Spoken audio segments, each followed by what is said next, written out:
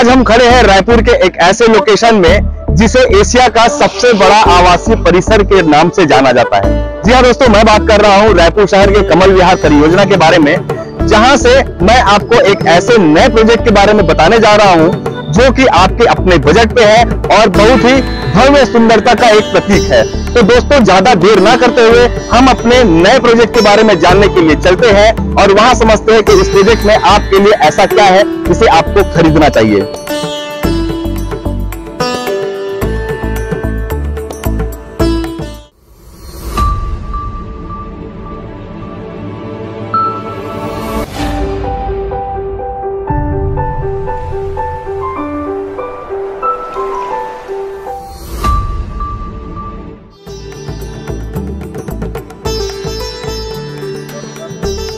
दोस्तों, हम पहुँच चुके हैं अपने साइट पे, जिसके बारे में मैंने आपको बताया कि कमल विहार से बहुत ही नज़दीक साइट है। और मैं आपको बताना चाह रहा हूँ कि मैं अभी खड़ा हूँ रायपुर शहर के पुराना धमतरी रोड के पास में। ये हाईवे से लगा हुआ प्रोजेक्ट है। सेज बाहर के एरिया में ये सबसे बेहतरीन प्रोजेक्ट है। और इस प्रोजेक्ट की खासियत ये है कि ये प्रोजेक्ट हमारे आराध्य भगवान श्री कृष्ण जी के नगरी के थीम पे बना हुआ प्रोजेक्ट है। जी हाँ दोस्तों, इस प्रोजेक्ट का जो थीम है, वो पूरा भगवान श्री कृष्ण जी के पूरे जीवन शैली से लेकर के बनाया गया है। क्योंकि आज हमको पुराण के हिसाब से भगवान श्री कृष्ण जी को हम आराध्य मानते हैं और उनको हम पूजा अर्चना करते हैं और कहीं ना कहीं जा करके हमको उनसे बहुत ज़्यादा प्रॉस्पेरिटी मिलती है। तो मैं आपको उस प्रोजेक्ट के बारे में बता बता रहा हूँ, जिस प्रोजेक्ट का नाम है श्याम सिटी। ये प्रोजेक्ट जो है, श्याम सिटी नाम है। आप समझ गए कि मैं किस चीज़ के बारे में बात कर रहा हूँ और श्याम सिटी से आपको क्या क्या मिलने वाला है। ये प्रोजेक्ट जैसा कि मैंने बताया आपको कि मेन हाईवे के ऊपर ये प्रोजेक्ट है, जो कि पुराने धमतरी रोड पर है। आप देख सकते हैं कि काफ़ी बड़ा फ्रंट है और सामने यहाँ पर काफ़ी अच्छा लैंडस्केपिंग गार्डनिंग और वाटर फाउंटेन का मिला जुला एक बहुत ही प्यारा तरीके से नज़ारा दिया गया है।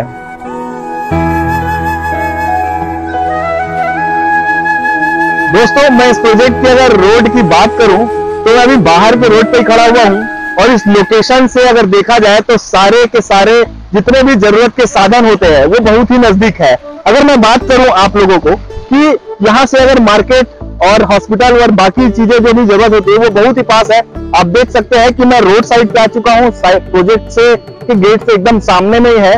और ये अगर सेज बाहर की बात करूँ तो सेज बाहर का ये मार्केट जो है, ये एकदम सामने में ही आपको नज़र आ रहा है। इस मार्केट में आपको ज़रूरत की सारी साधने, ज़रूरत के सारे सामान बिल्कुल आसानी से मिल सकते हैं, जो कि एकदम वॉकिंग डिस्टेंस पे है।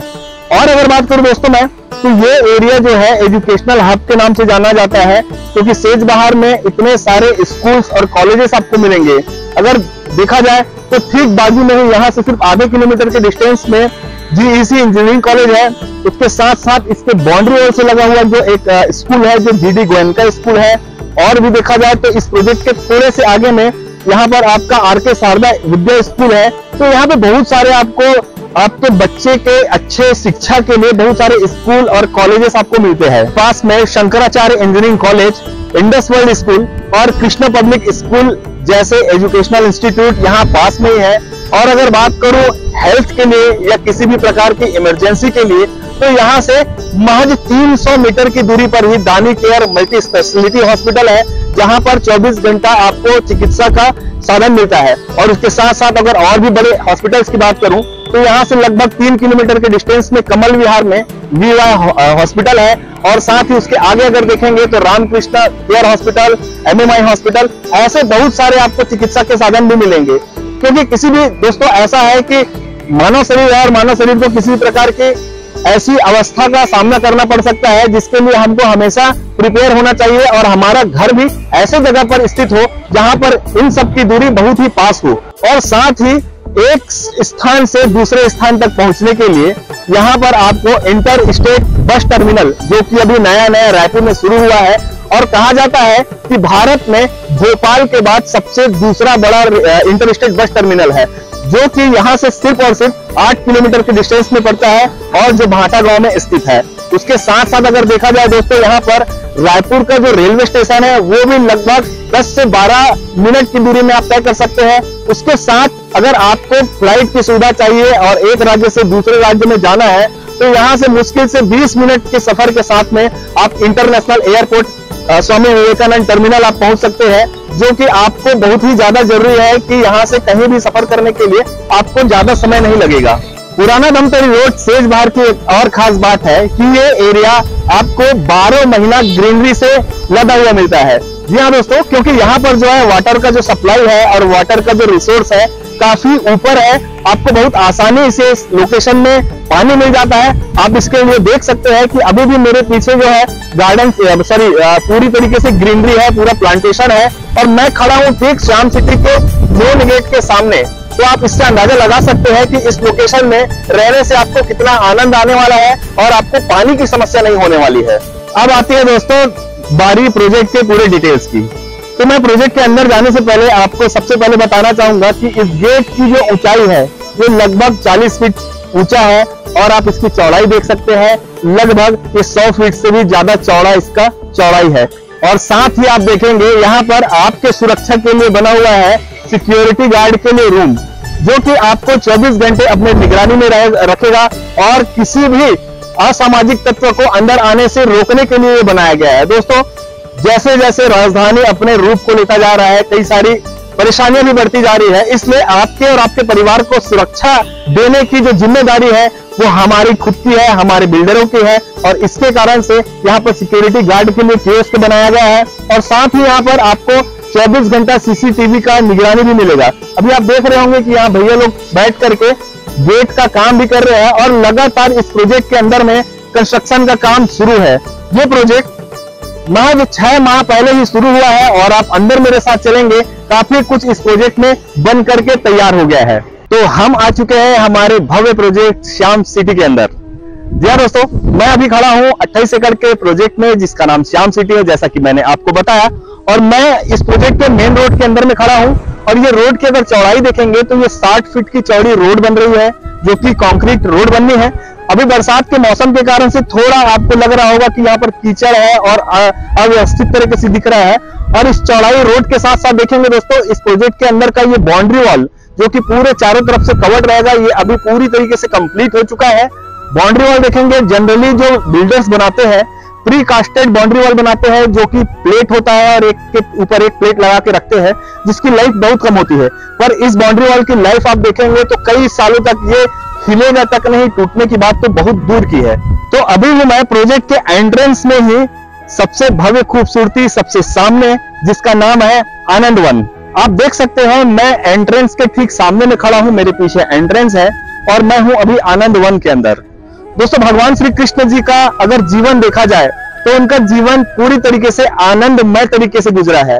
आप देखे, कभी नहीं देखे होंगे आप भगवान श्री कृष्ण को कि वो उदास रहे हैं या वो किसी प्रकार से चिंतित रहे हैं। वो हमेशा अपने प्यारी सी मुस्कान को लेकर के पूरे दुनिया को शिक्षा देते रहे हैं। तो सेम यही चीज़ है दोस्तों, ये आनंद वन भी इसी प्रकार की कलाकृतियाँ बनाया गया है कि यहाँ रहने वाले जो लोग हैं, वो हमेशा आनंदित रहे और उनके जीवन में हमेशा खुशहाली रहे। और साथ ही यहाँ पर देखेंगे आप, बच्चों के, महिलाओं के लिए और बड़ों के लिए झूला झूलने के लिए भी यहाँ पर व्यवस्था किया गया है। ये झूला कोई सामान्य झूला नहीं है। ये इंडोनेशिया के बाली से प्रेरित होकर के बड़े बड़े झूले के जैसे यहाँ पर लिया गया है। और साथ ही आप देख रहे होंगे, हमारे यहाँ माताएँ बैठ करके इस गार्डन का साफ़ सफ़ाई कर रहे हैं और यहाँ पे पतवार ना बने, इसलिए इसको बहुत ही अच्छे तरीके से मेंटेन कर रहे हैं। तो ये प्रोजेक्ट में एक अच्छी तरीके से यूएसपी है। दोस्तों, अभी देखिए, सावन के महीने में हमारा शूटिंग चल रहा है और बरसात भी हो रही है तो बरसात का आनंद लेते लेते मैं आप लोगों को आपके लिए वीडियो तैयार कर रहा हूँ। दोस्तों, आनंद वन के बाद हम जैसे ही आगे बढ़ते हैं, सामने ही दिखता है कामधेनु स्क्वायर आप जैसे जानते हैं कि भगवान श्री कृष्ण जी के सबसे प्रिय गैया मैया होती थी और भगवान सबसे ज़्यादा उनके साथ ही अपना समय व्यतीत करते थे। तो दोस्तों, हमारे सोसाइटी के लोगों के लिए भी माता गौ के साथ उनके बछड़े का जो एक चित्र है या एक मूर्ति है, जिसको कहा जाता है कि घर से बाहर निकलते, हमारे बड़े बुज़ुर्ग कहते हैं कि घर से बाहर निकलते हुए अगर बछड़े और गाय ऐसा दिख जाए तो उनका दिन शुभ होता है। तो ऐसे ही कहीं ना कहीं हमारे डेवलपर ने सोचा और आपके घर से बाहर निकलने के बाद आप इस मूर्ति को देखें और आपका दिन अच्छा जाए। इसके लिए इसका निर्माण किया गया है जो कि आप देख सकते हैं कि कितना सुंदर और कितना प्यारा प्रतीत हो रहा है। और साथ ही दोस्तों इसी के पास में मैं आपको दिखाना चाहूँगा कि प्रोजेक्ट का जो डेवलपमेंट चल रहा है, उसमें जो डेवलपमेंट हो रहा है, आप देख सकते हैं यहाँ पर पानी के सप्लाई के लिए वाटर टंकी भी बनाया जा रहा है, जिसमें नीचे भी वाटर स्टोरेज है और टंकी भी जो काफ़ी हाइट का बन रहा है, उसमें भी वाटर स्टोरेज रहेगा। इससे आपको आपके समय समय पर आपके घर में पानी की समस्या को निदान दिया जा सकता है और आपको हमेशा पानी की एक प्रकार से महफूजता मिलेगी। पानी के टंकी के साथ ही आप बाजू में एक बड़ा सा स्पेस देख रहे हैं। इस स्पेस में बनने वाला है भगवान श्री कृष्ण और राधा जी का मंदिर। और यहाँ पर बनेगा एक लोटस कुंज। मतलब कमल का कुंज बनने वाला है, कुंड बनने वाला है, जहाँ पर बहुत भव्यता से ही यहाँ पर आपको दिखेगा। और आप अपने आराध्य की पूजा अर्चना करने आप यहाँ आ सकते हैं। और अभी हम हम है श्याम सिटी के एक और भव्य सुंदरता के पास, जो है रास उद्यान। आप देख सकते हैं कि राधा जी और श्री कृष्ण जी, जो एक दूसरे के साथ में रास लीला जो रचाते हैं, वैसे ही तर्ज पर इस मैदान को बनाया जा रहा है, इस ग्राउंड को बनाया जा रहा है कि किसी भी प्रकार का जो फेस्टिवल होगा हमारी सोसाइटी में तो लोगों को यहाँ पर एक अच्छी तरीके से गैदरिंग करने को मिलेगा। और साथ ही आप वहाँ पर देख पा रहे होंगे जो आपका छड़ का काम दिख रहा है वहाँ पे, वहाँ बन रहा है क्लब लीला। उस क्लब लीला के अंदर दोस्तों बहुत सारी सुविधाएँ हैं। उसमें आपको इंडोर गेम्स मिलेगा और भी उसके अलावा जो है जिम और जो भी आज के डेट समय में जो आधुनिकता के लिए जो चाहिए होती है, जो आज रोज़मर्रा में हमको जो देखने को मिल रहा है, वो सारी तरीके से चीज़ें यहाँ पर आपको इसी एक बड़े क्लब हाउस अगर हम इसको बोल सकते हैं तो ये पूरा मैदान लगभग डेढ़ एकड़ से बड़ा बड़ा है और ये क्लब हाउस भी है, रास उद्यान भी है तो ये सारी सुविधाएँ आपको इस प्रोजेक्ट के अंदर मिलता है। इसके अलावा भी इस प्रोजेक्ट के अंदर में मैत्री उद्यान, निधि वन और बच्चों के खेलने के लिए भी बहुत सारी सुविधाएँ दिया जा रहा है। अगर मैं बात करूँ दोस्तों इस प्रोजेक्ट का डेवलपमेंट का तो आप देख सकते हैं कि प्रोजेक्ट में अभी भी बहुत सारे कारीगर लगे हुए हैं, काम कर रहे हैं और डेवलपमेंट काफ़ी तेज गति से चल रहा है। अभी इस प्रोजेक्ट को शुरुआत हुए मार्च छह महीना हुआ है और इसमें काफ़ी सारा डेवलपमेंट दिख चुका है। और इस प्रोजेक्ट का लगभग कंप्लीशन का अगर टाइम बताऊँ कि इस प्रोजेक्ट के अंदर में आकर के आप रह सकते हैं तो सिर्फ़ और सिर्फ़ दो साल के अंदर ये प्रोजेक्ट पूरी तरीके से तैयार हो जाएगा, जहाँ जिस श्याम सिटी में आप आसानी से आकर रह सकते हैं। देखिए, मैं आपको दिखाना चाह रहा हूँ, यहाँ पर ड्रेनेज और सीवरेज का काम चल रहा है, जो कि पूरी तरीके से अंडरग्राउंड है। इस प्रोजेक्ट में इलेक्ट्रिफिकेशन भी अंडरग्राउंड है और वाटर सप्लाई का जो पॉइंट है, वो भी पूरी तरीके से अंडरग्राउंड है। तो अब जो सोसाइटीज बन रही है और कुछ बिल्डर्स ऐसे हैं जो कि अपने ग्राहकों का विशेष ध्यान रख रहे हैं और नए तरीके से आधुनिकता को लेकर के जो बनाया जा रहा है, वो उस तरीके से निर्माण कार्य यहाँ पूरी तरीके से चल रही है। मैं आपको इसके साथ साथ दिखाऊँगा कि इस प्रोजेक्ट से लग करके जो मैंने आपको बताया था कि जीडी गोयनका स्कूल के पास में ही हम खड़े हैं और ये आपको दिख रहा है दोस्तों, ये सामने ही एक बिल्डिंग दिख रहा है। ये है जीडी गोयनका स्कूल जो कि हमारे प्रोजेक्ट के बाउंड्री वॉल से लग करके है। मतलब अगर आपके घर का बच्चा अगर स्कूल जाना चाहे तो यहाँ से वॉकिंग डिस्टेंस में ही स्कूल जा सकता है। और दूसरी चीज़ अगर बताऊँ मैं आपको, ये प्रोजेक्ट शहर के एक सुव्यवस्थित जगह पर है, जहाँ पर ऑलरेडी लोग रहते हैं। ये मेरे पीछे आप देख रहे होंगे, ये पीछे देख रहे हैं, यहाँ पर हाउसिंग बोर्ड सोसाइटी है, छत्तीसगढ़ गृह निर्माण मंडल का। यहाँ पर लगभग 1700 मकान बन चुका है, जो कि काफ़ी समय हो गया है। और यहाँ पर लगभग लगभग देखा जाए तो 90 परसेंट ऑक्यूपेंसी है 90 परसेंट लोग रहते हैं। तो इस लोकेशन में, इस सोसाइटी में आपको प्रॉपर्टी खरीदने से काफ़ी सारी बेनिफिट है, क्योंकि यहाँ पर आपको सारी सुविधाएँ पास में ही मिलती है। इस प्रोजेक्ट के अंदर भी काफ़ी सारे इम्यूनिटीज है। तो दोस्तों, ये भव्य प्रोजेक्ट 28 एकड़ का है, जहाँ पर चार प्लॉट्स अवेलेबल है। और अगर प्लॉट की साइज़ की बात करूँ तो 1000 स्क्वायर फीट से लेकर के 2000 स्क्वायर फीट तक के साइज़ का प्लॉट यहाँ पर अवेलेबल है। और इसके साथ साथ अगर इस प्रोजेक्ट में आप प्लॉट खरीदते हैं तो आपको बैंक से फाइनेंस की भी सुविधा मिलती है।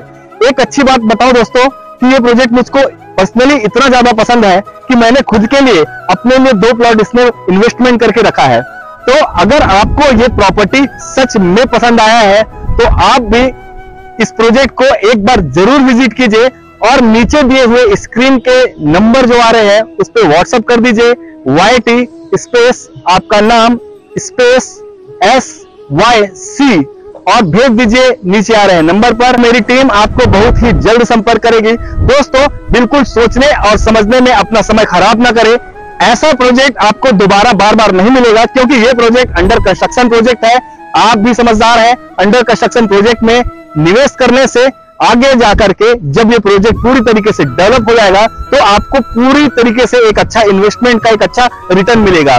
तो सोच समझने का आप बिल्कुल भी विकल्प खत्म कर दीजिए, क्योंकि कहा जाता है कि रियल एस्टेट में निवेश करने से पहले सोचना नहीं चाहिए। निवेश करें और सोचे। अगर आपको ये वीडियो और ये प्रोजेक्ट पसंद आया होगा तो मेरे YouTube channel my budget my homes को सब्सक्राइब कर दीजिए। ज़्यादा से ज़्यादा शेयर कर दीजिए और हाँ लाइक भी कर दीजिए। तो थैंक यू सो मच दोस्तों आज के इस वीडियो को पूरी तरीके से देखने के लिए और आपका प्यार देने के लिए आप सभी का बहुत बहुत धन्यवाद। आपका अपना रियल एस्टेट एक्सपर्ट